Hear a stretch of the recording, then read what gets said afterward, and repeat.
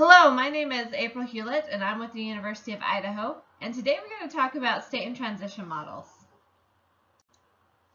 From the previous lecture, you've started to understand what succession is, whether it's primary or secondary succession. We see changes in plant communities over time. When we think about rangelands and other ecosystems for that matter, sometimes there are problems with linear succession and we don't see these patterns occur. So I want you to think why there might be some problems with linear succession on rangelands. There's a lot of different reasons, and we're going to talk about some of them today. One of them is demographic inertia. And what I mean by that is that sometimes we might have non-climax competitive species that remain dominant no matter what kind of disturbance is removed. For example, if we have a cheatgrass monoculture or one species of cheatgrass, then a lot of times even when we remove disturbance, we don't see that successional progression start to occur. Another example of demographic inertia would be in a desert system where we have plant compositions that are really dynamic. If we have a really wet or dry year, for example, in the Mojave Desert, we might see a large flux of wildfires or, or wildflowers, or we might see no wildflowers if we're in drought conditions. So the plant composition's dynamic. One of the I mean, the Mojave Desert, obviously, if you saw pictures from this year, you saw that it was really in bloom. But this also occurs on any kind of ecosystems. When we have precipitation differences, we're going to have plant compositions that change. Another thing to consider when we look at linear succession is that sometimes we have loss of plant materials. For example, we might have overgrazing that occurs on a certain species and because of that overgrazing, they might be eliminated. This can be used for our benefit or to the detriment of the ecosystem. For example, if we have a lot of weed species and we can use targeted grazing, then that's a great thing for our overall ecological health. Another thing is species, species might be outcompeted by other plants or they could be lost in a drought. All of these things are going to influence the linear progression of succession. One of the things we're really seeing in the West is that we have this fire feedback loop. And essentially what that is is that grasses, such as cheatgrass, they increase the fire frequency because they can dry out earlier. They're that fine fuel that's easy to ignite. And when they do burn, the fire actually promotes more grasses. Hence, we're in this cycle or this fire feedback loop where we have more grasses that promote fire and then the fire promotes more grasses and it just goes over and over. Similar to the fire feedback loop, we also have a soil feedback loop. And when we start to lose our seed bank, for example, in this area where we have a juniper and a woodland encroachment, you can see that we've lost our seed bank. We've lost that understory, and when we do that, we increase the amount of bare ground that we have. And when we increase the amount of bare ground we have, we're going to increase our erosion. And when we, erosion occurs, then we see that loss of the seed bank even more. We have loss of nutrients. We have more opportunities for compaction to occur. Again, all of which leads to more erosion. So you can see how it's just an, a, a feedback that goes on and on. And what this does to linear succession is prevents it from moving to that climax community. Here's an example of why we don't always see linear succession in rangelands, or why we often don't see linear succession. Here are two different examples, or two different community types that occupy the same habitat type. And that habitat type is Wyoming big sagebrush, blue bunch wheatgrass. The photo on the left is dominated by cheatgrass and bottlebrush squirreltail, and the photo on the right is dominated by Wyoming big sagebrush and blue bunch. Both of these communities are relative relatively stable. So when we think about linear succession, what's going on in these ecosystems? Well, there's a few things that you need to consider. One of the problems with successional models is that there's often multiple pathways of succession. It's not one linear path. Two, there's multiple stable vegetation types. Both of these communities are relatively stable how they are and are likely not going to change until some disturbance occurs. And there's no single and certain endpoint when we think about succession on rangelands. One of the things that I would like you to remember when you think about managing rangelands is that oftentimes we can't equate that climax community with the range conditions on the land. So for example, we know that different sites have different potential to grow different vegetation. So don't get stuck in the idea that we have to get to a climax community. We can actually have really functioning rangelands with pioneer species, with intermediate species, as well as climax communities. What becomes key is that we see this mosaic or we see different vegetation characteristics across the landscape. So I mentioned site potential in that last example. And what do I mean when we say site potential? This is going to drive what kind of plant communities or what our functions are on a lot of rangelands. So when we talk about site potential, we're referring to precipitation. How much precipitation does this plant community receive? What is the temperature? Do we have um, a freeze-thaw cycle that might influence soils, for example? Soils become really important. Do we have rocky soils? How much water or uh, water holding capacity do they have? We can think about the topography, the elevation aspect. All those things play a role in what's uh, your site's potential.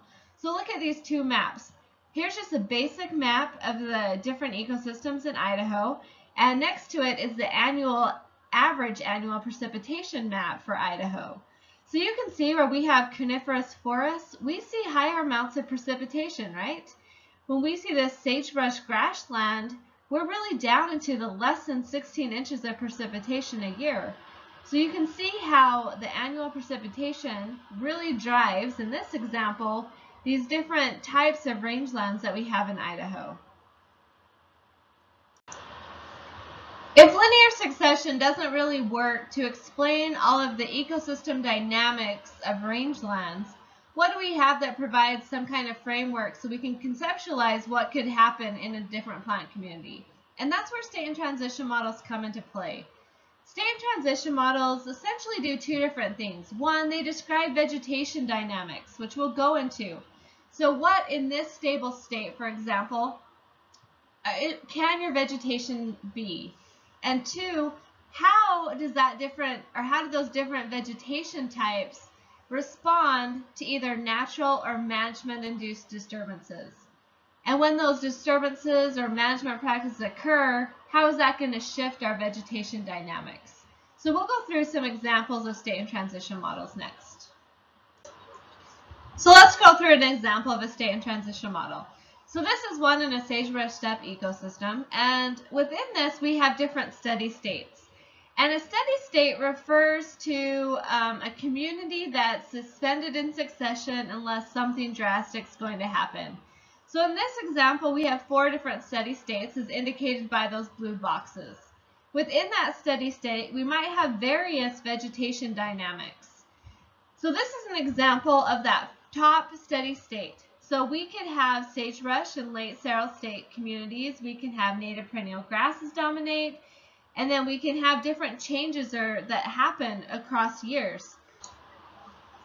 So within those stable states, we can have transitions. And transitions are just disturbances or competitions that cause that plant community to shift but still stay within that stable state.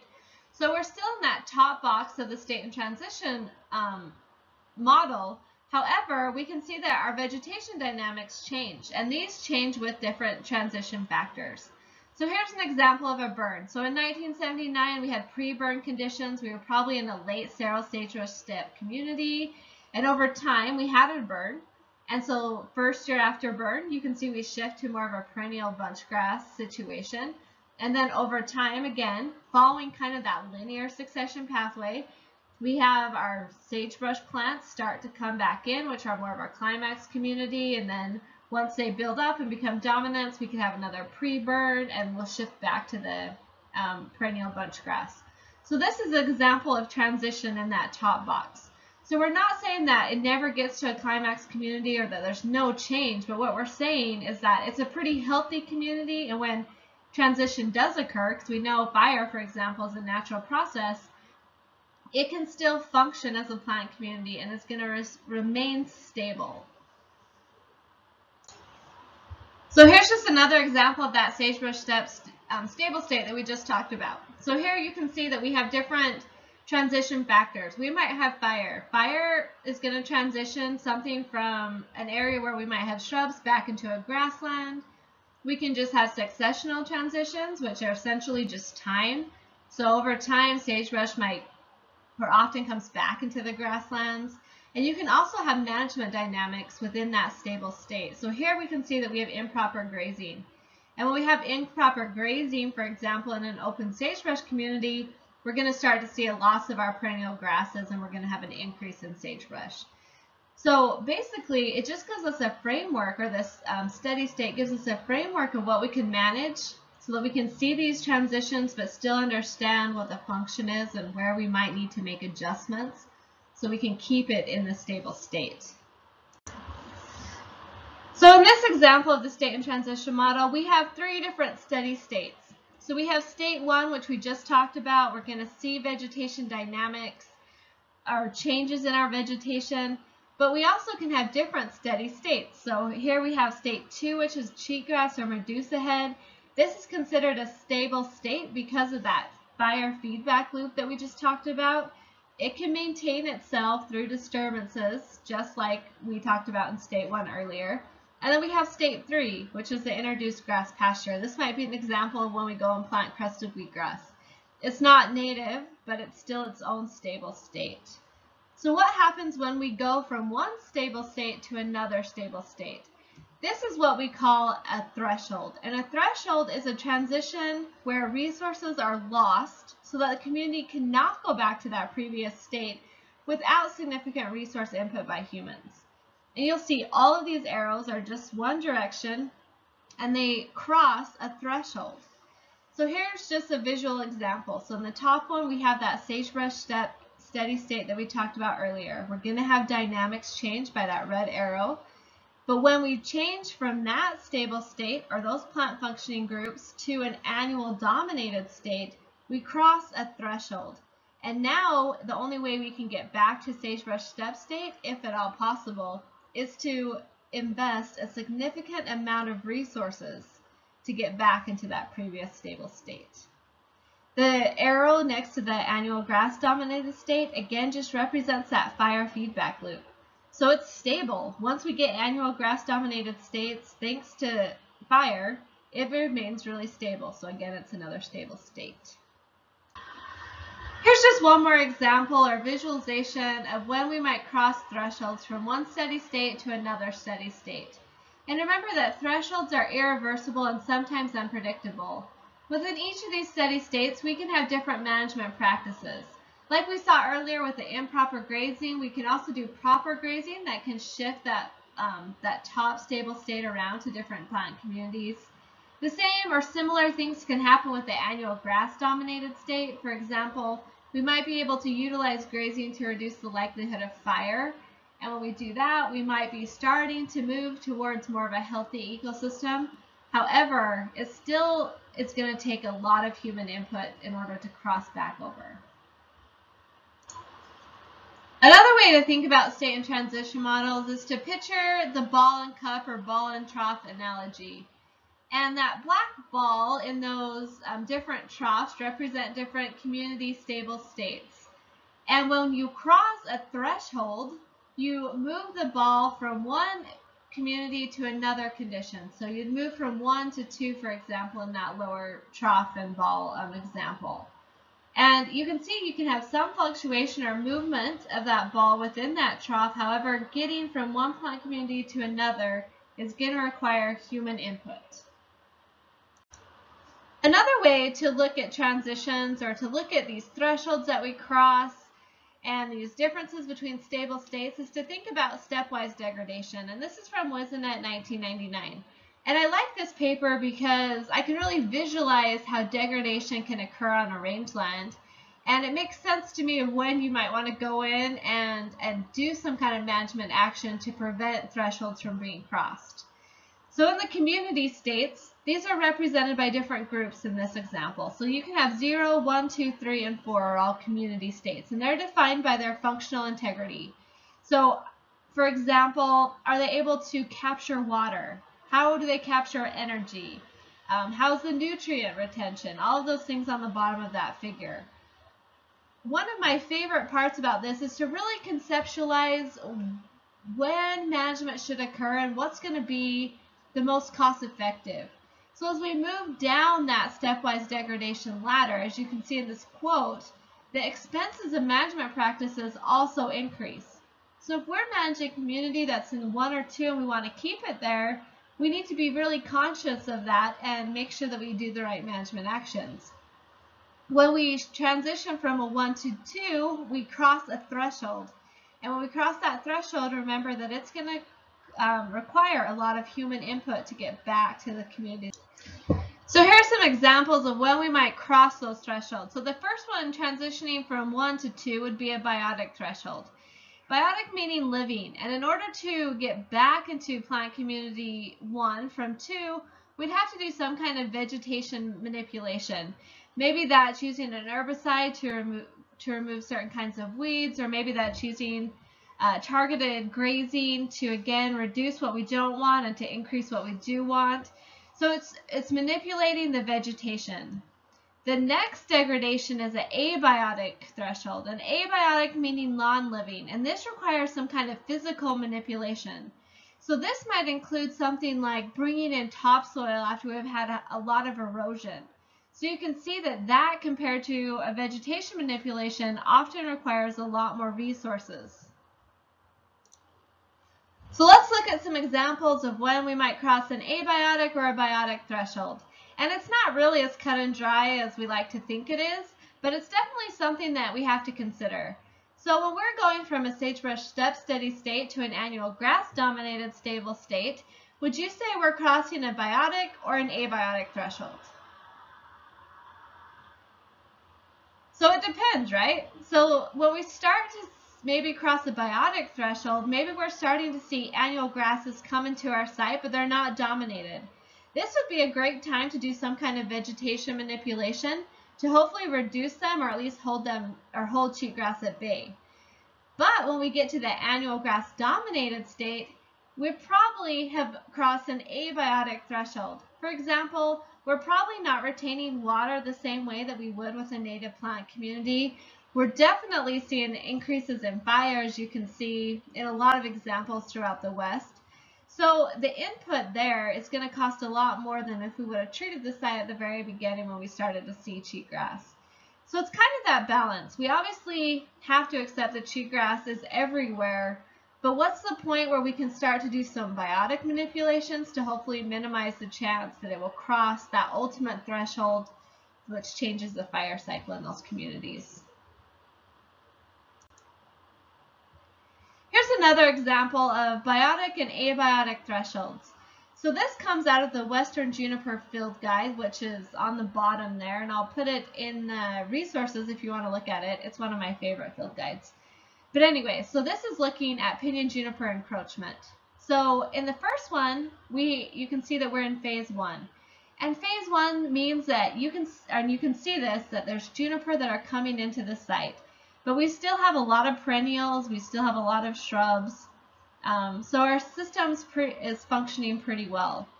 We go to that middle photo, we're in phase two. So here you can see that pinyon and juniper are starting to dominate even more and they're starting to outcompete some of our understory vegetation. And then we get to phase three where you can see that the understory is completely gone and the pinyon and juniper are dominating. So here's a few examples of when we cross biotic thresholds.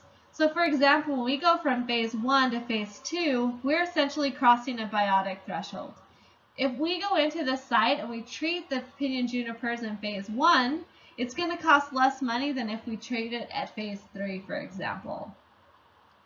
The area where we've crossed an abiotic threshold could be between phase two and phase three.